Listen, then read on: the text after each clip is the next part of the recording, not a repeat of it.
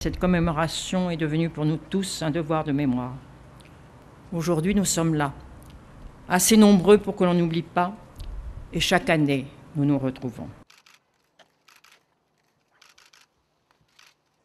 Après la rafle, euh, y a eu, tous les gens ont été déportés, et donc c'est une date très terrible pour nous, puisqu'on ne pouvait rien faire. Moi j'étais à, l'époque d'ailleurs euh, euh, à Nice, on ignorait souvent ce qui s'était passé ici, mais quand on l'a appris, évidemment, c'était épouvantable.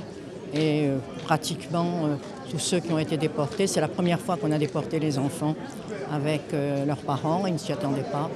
Et c'est pour nous une date que nous voulons marquer.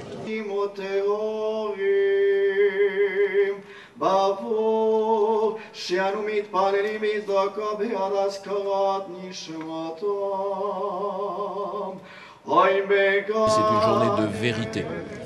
Et euh, c'est la vérité de la euh, persécution des Juifs de France, la vérité sur euh, la déportation, le rôle que le gouvernement de Vichy a joué, cette déportation à l'issue de laquelle 76 000 Juifs ont été assassinés à Birkenau. Ceux qui ont vécu cette histoire-là disparaissent.